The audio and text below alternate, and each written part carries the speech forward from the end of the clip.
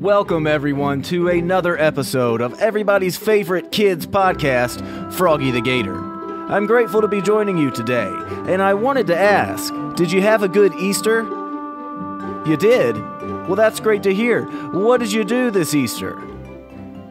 Yeah, that sounds pretty fun. Did you happen to find some Easter eggs over the weekend? Uh huh. Uh huh. I, I, I bet you did. How many did you find? Wow, that is a lot. And I'm guessing they had candy inside as well, huh? Yep, yep, yep, that sounds about right. And that sounds great. And me and my kids also had an Easter egg hunt. We had several Easter egg hunts, actually. And we had a big family reunion hosted at a church in the town that my mom grew up in. And it was a great weekend, all in all. And it made me really grateful for all of the blessings in my life. Do you feel the same way? That's great to hear.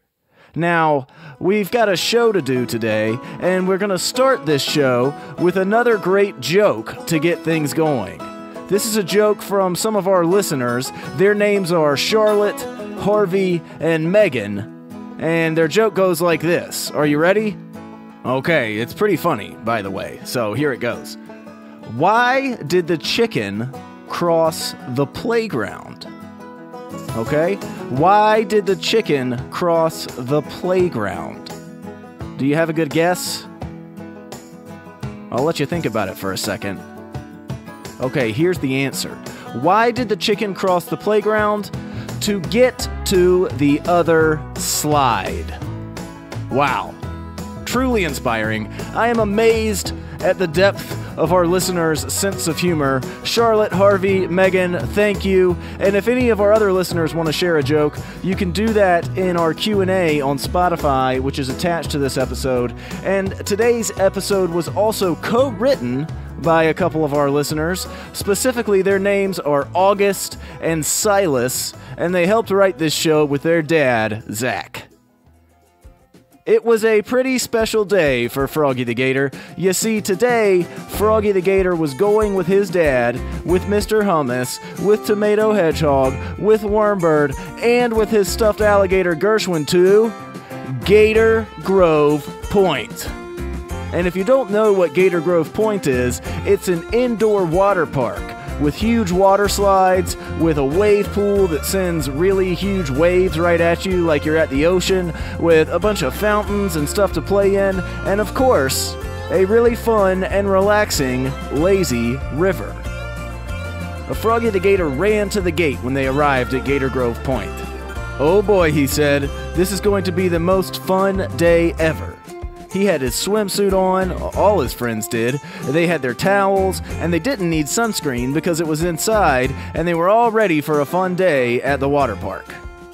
They immediately went to check out the water slides. They first rode a water slide called the Tower of Destiny. It was a huge orange water slide, and all the guys had inner tubes that they wore as they slid down it. They flew down the slide, going through the twists and turns, and shot out like cannonballs to the pool below. Then they went to another big slide. This one was called, fittingly, the Rocket Launch. And it was a really tall water slide that went basically straight down, almost at a 90 degree angle, Froggy guessed. And as the guys went down it, they estimated that they must have been going approximately 100 miles per hour. They were going that fast. They tried all the water slides, a few times each, in fact, and they were having a great time eating snacks and hot dogs and popcorn between rides and checking out the wave pool where they body surfed on the huge waves that it generated using hydraulic paddles and plungers that generated enough force to create actual waves like you see in the ocean. It was truly the best day ever, Froggy figured, until suddenly he noticed something was wrong. Wait a minute, guys, Froggy said as they walked out of the wave pool back toward one of their favorite water slides. Have any of you seen Gershwin? I know I brought him in here, but I haven't seen him all day. Where could he have gone? Hmm, said Mr. Hummus. And now that you mention it, no, no, I haven't seen him. I saw you carry him inside, but I haven't seen him since we got here.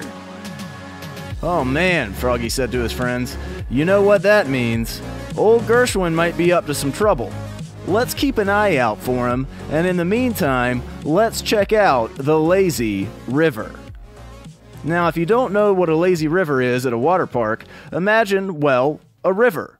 And you get in inner tubes, which are inflatable tubes that you sit in, and you float down the river with your friends, and you enjoy the water, and you cruise along, and you talk, and you laugh, and you generally have a great time.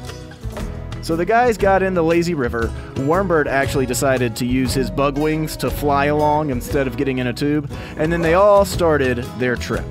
They imagined they were floating down the mighty Mississippi River, like Huck Finn or Tom Sawyer, which you can read or listen to on Sherwood, by the way, and they thought about what they might see as they floated down the most famous river in the USA. In their imagination, they saw muddy, sandy banks, a beautiful sun shining overhead, and all kinds of trees and grass and animals as far as the eye can see. This is so peaceful, Froggy the Gator said to his friends.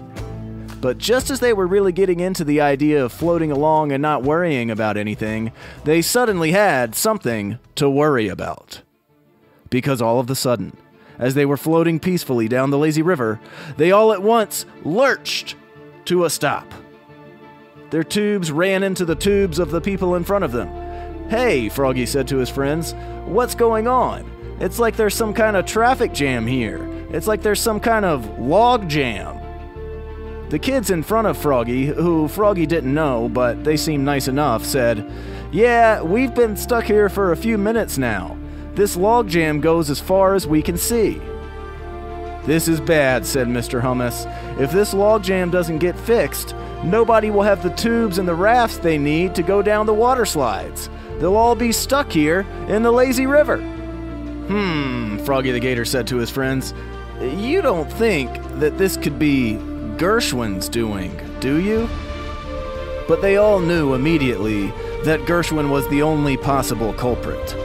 So they got out of their tubes.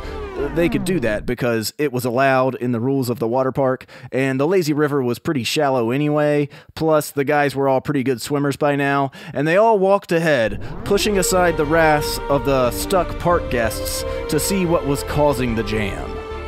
They pushed and they pushed, and finally, after what felt like hours of fighting through the current of the mighty Mississippi, they saw it. None other than swamp Swampwater Riverboat Gershwin! In their minds, of course, they saw Froggy's stuffed alligator Gershwin laughing hysterically as he clogged the lazy river and created a huge log jam that nobody could get past. Hey, Gershwin, Froggy shouted. What do you think you're doing here? And Swampwater Riverboat Gershwin just laughed. Ha ha ha, he said. Froggy, you brought me into this water park, and then you immediately forgot about me. You were having so much fun with your friends that you just left me sitting by the banks of this lazy river. So now I have blocked it so that nobody shall pass. Froggy thought for a second. And Gershwin was technically right. Froggy did kind of neglect him. He was kind of irresponsible with his friend Gershwin.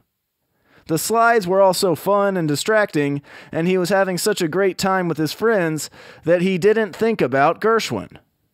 So Froggy immediately knew what to do. Gershwin, Froggy said, I'm sorry I neglected you today. That was a mistake on my part, and I feel awful. But these people need to get past. They need these tubes for the slides, and we have to stop this logjam. Will you ride with me on my raft so that the lazy river can go back to normal? And with that, Gershwin immediately softened his stance. You know, Froggy, Gershwin said, that makes me feel a lot better. And so Froggy scooped up his soggy stuffed animal friend, held him close on his raft, as the lazy river started flowing again. The end.